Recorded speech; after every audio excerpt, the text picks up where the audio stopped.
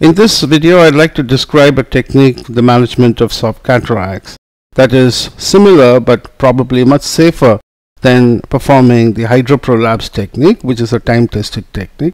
Let's look at some background. In soft cataracts, many surgeons prefer to hydroprolapse the lens into the anterior chamber to remove it with predominantly vacuum and very short bursts of minimal phaco power. This is of course safe to the endothelium. However, this requires a CCC size of 5.5 millimeters or more and if you end up with a 5 mm CCC or less, there is a small but definite risk of getting a posterior capsular blow.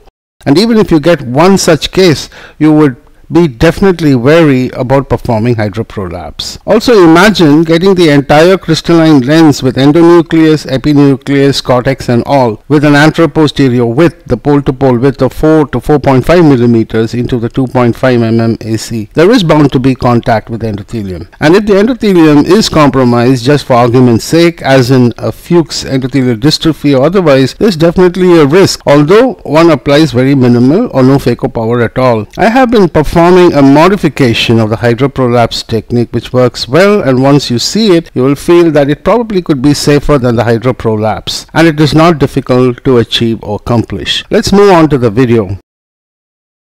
In order to demonstrate this technique, let's take a soft cataract. This patient had just a grade 1 or even less nucleus sclerotic cataract.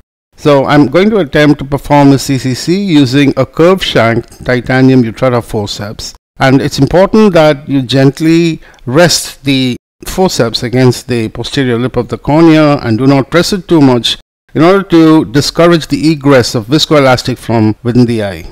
So perform the capsular capsulorhexis by taking hold of the tone flap and moving it either in a tangential or a centripetal fashion and if you see that the rhexis is tending to run out, do not hesitate to come out and Re-insufflate the anterior chamber with sufficient viscoelastic to deepen it before proceeding with the capsular capsulorhexis. So in this particular case, I got a capsular capsulorhexis size that was slightly bigger than 5 mm and it was also a little eccentric in the inferior portion.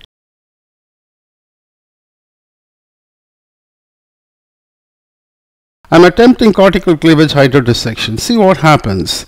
So while I perform cortical cleavage hydrodissection, the inferior pole of the nucleus actually pops out. And since I do not believe in hydroprolapse, I'm actually repositing this nucleus back into the bag and I perform hydrodelineation.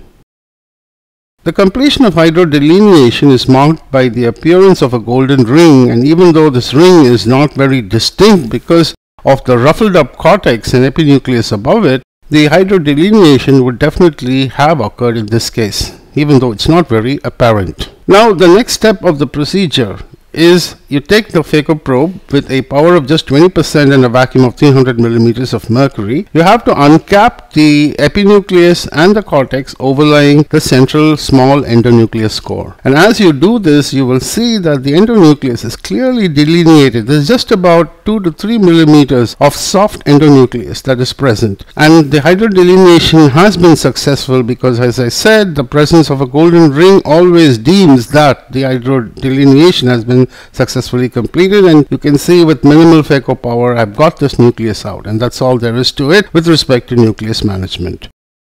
The epinucleus of course can be removed with epinucleus setting using no power at all just using vacuum and probably just very short bursts of power. The removal of epinucleus is no great challenge as the epinucleus is freely rotating because of a good cortical cleavage hydrodissection.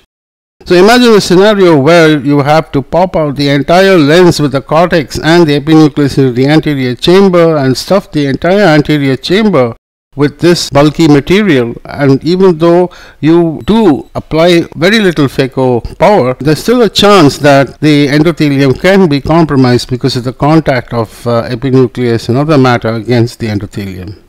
Cortical aspiration is easy because of a good cortical cleavage hydrodissection and once the bag has been completely cleaned up, the procedure is concluded with the implantation of intraocular lens. The carry-home message is you don't really have to hydroprolapse the entire lens even in a soft cataract because in soft cataract it is almost always possible to get a good hydrodelineation. All you have to do is after you create the hydrodelineation you have to uncap the epinucleus and cortex overlying the soft endonucleus core which is seldom more than 2 to 3 millimeters and this core alone can be popped up and removed and the nucleus can be successfully conquered.